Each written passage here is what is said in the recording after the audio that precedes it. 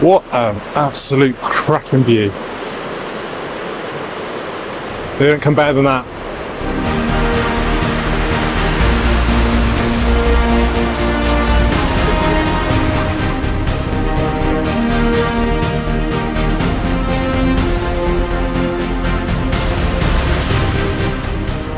So you probably wouldn't believe it right now looking at the industrial wasteland behind me. But I'm on a World Heritage Site. Now behind me, as you can see there, was an old chemical works. And that plays an important part in today's story. Area that's been developed massively over the years. And there are massive plans to open it up again and reinstate the canal basin that was once stood inside it.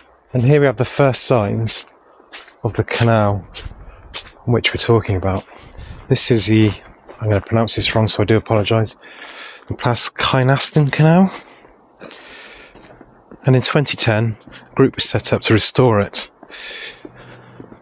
As you can see, it ends here. Tunnel's still intact underneath. So this all leads on to probably the most epic site on, on the British canals, and one that is incredibly famous. So by 1870, the canal, as you can see, comes into the works. It was the works were fairly small by there. Uh, in 1875, you can see this OS map shows the route more clearly with Trevor Basin just on the left there, and you can see the tramways I'll talk about in a minute there as well. The 1900s, you can see the chemical works has, has expanded, and this continued to do so for quite some time. And eventually, the canal was filled in.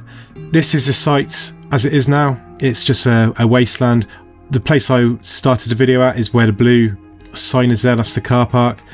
But the plan is to bring the canal and the basin back into this. Now, this was roughly on the same route as the old one, and they reckon the clay bed was still there. It will link the canal back into Mor, as well as some other planned transport upgrades, and it will give massive capacity increase at this end for boaters. It currently is a bit of an issue where there's not enough mooring here for, for, for boaters that are coming up to and across the aqueduct. Walking towards the subject of today's video, we come under here. There's the obvious canal footpath what looks like a tramway. I'm not too sure about that. I don't know. I didn't find any info on tramways when I was researching this area. There was quite a lot of different stuff around here, carrying goods up to the hills. Because this is Trevor Basin, and Trevor Basin was effectively the terminus of the canal for some time. The canal was planned to go much further, but it never completed that section. And uh, eventually Telford built an artificial weir at Horseshoe Falls, just up the canal, and uh, and watered this section down through it. So where are we going? Where does this lead up to? I said to you, it's the tallest aqueduct in the world. It's the longest aqueduct in the UK might give you a clue. We're out of season now. It's uh, late December. So a lot of these boats are sat here. They're holiday boats. And you'll see some big windowed boats. And they're for going and viewing what we're going to see now. I'm quite excited and equally as terrified right now. I've got to be honest with you. So here we are at the, we're at the junction now. And you may start to see it coming up ahead. And here we are. The Pontcysyllte Aqueduct. I hope my very bad Welsh pronunciation has uh, got slightly better because I've been, I've been practicing that for ages. What an epic piece of engineering this is. Must be terrifying on a boat looking out from there. Look. So you'll, you'll be coming across here and you can't really see much at the moment. We're quite still quite close to the ground, but you're just leaning right over that. The raging river below. So this is the River Dee, and it carries the Llangollen Canal over what is the tallest aqueduct in the world, or certainly canal aqueduct. And it's also the longest in the UK, as I said. So the original plan was to construct a series of locks down and back up the other side. But Thomas Telford, being the absolute canal legend that he is, said no. And then him and William Jessop designed this aqueduct, uh, which used to sit on an old road crossing the perfect thing about this canal is certainly this end there's no locks. They follow the contours so well of the land here. The canal goes off sort of behind that white building. I don't think that's used too much down there. And uh, then follows the contour and eventually goes through a bunch of tunnels, which you would have seen on possibly last week's video. all these tunnels, aqueducts, as well as the Chirk aqueduct, meant they didn't need to have tons of locks running through this, through these hills. We're in Wales, North Wales. You can see all around us that it's mountainous. It's not as mountainous here as it is in sort of further across the Snowdonia. It's certainly got some hills to contend with. Look at that wild river. Look at it, working its way down the Welsh hillsides and mountains. All that rain we've had over the past few days, absolutely throwing itself down through the through the through the bed of that. Look at those piers doing their job, breaking the water up to direct it through rather than channeling below. Absolutely incredible. This wind is getting wild. Let's pop down and have a closer look. It's not just the stunning aqueduct and wow, it's stunning. It makes this area so so beautiful. It's just this whole valley. The River Dee's a wild river, and just look at the size of it. It just reaches up to the sky. It's it's incredible. This cost around forty-seven thousand pound at the time to construct, which converted to today's money would be a little over four million pounds. There's various translations for the name. Most are uh, like sort of a bridge between hills or a bridge in the sky, which are actually incorrect.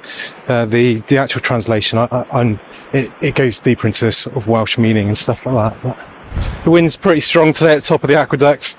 I'm doing my best for drone footage on this, but I, I've got to kind of fly between periods of wind. It does settle down quite a bit at times.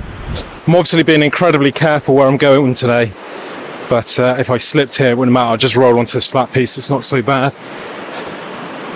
What a view.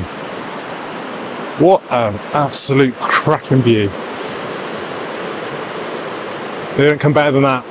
It's madness to think 200 years ago they even considered this possible. I mean, Telford was in, was involved with the Chirk Aqueduct, which you would have seen on my channel, Longdon on Tern, which you would have seen on my channel. That proved that was the second ever cast iron aqueduct trough, and it proved that the concept worked.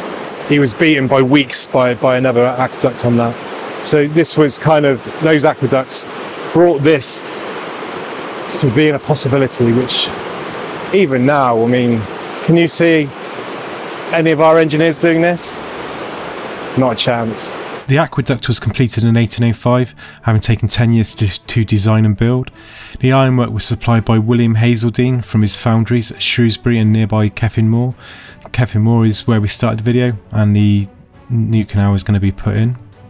The aqueduct is 336 yards long, it's 12 foot wide, 5 foot 3 inches deep, and is the longest aqueduct in Great Britain. It consists of a cast iron trough supported 126 feet above the river on iron arched ribs, which were done for strength and carried on 18 hollow masonry piers. Each of the spans is 53 foot wide. You can kind of just see the height of it here. It's, it's crazy just how big it really is. Seeing it on pictures and on YouTube and stuff just really doesn't give it give justice to just how big this thing really is. It's it's incredibly impressive. So when the canal was completed, it should have carried on to uh, Moss Valley in Wrexham, where Telford had constructed a feeder reservoir in 1796. This would have provided water for the length of the canal between Trevor Basin and Chester.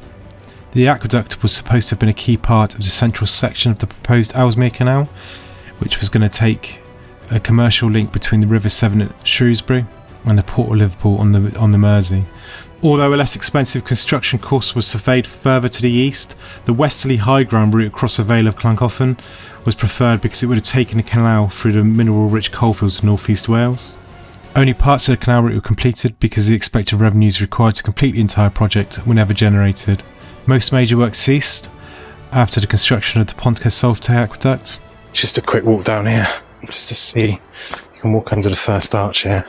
Nice view of these arches. So you can see what I mean about the cast iron. So it was built into arches, and then structural supports running all the way through it, which support it. And if you see the sort of the trough on the top of those arches, they are angled with that to continue the arch really is a feat of engineering. You consider this was built sort of what would have been 200 odd years ago. It's incredible what they did. let's have a walk up this other side and see this trough. You can get just uh, a towpath from this side and see just quite how close that you are to to falling basically. So you've got inches. Look, that's all it is. is why is my camera and my and my microphone for that massive drop off on the side.